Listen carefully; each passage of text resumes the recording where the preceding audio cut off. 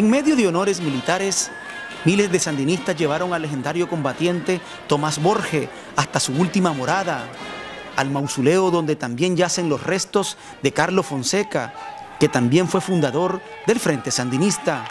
Él es de los que vino poniendo cimientos a estas victorias que venimos alcanzando y que nos permiten, gracias a este pueblo heroico, a este pueblo valiente, a este pueblo trabajador, que tuvo la fortaleza de insurreccionarse y acabar con la tiranía impuesta por el imperio yanqui aquel 19 de julio de 1979.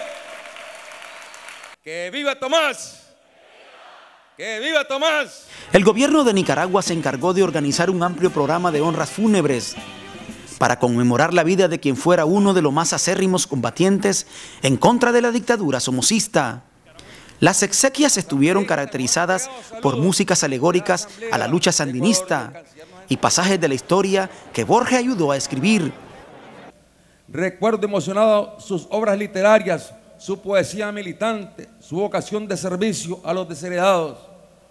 América Latina lo recordará como el luchador incansable, pensador anticolonialista y combatiente por la libertad y la soberanía del continente.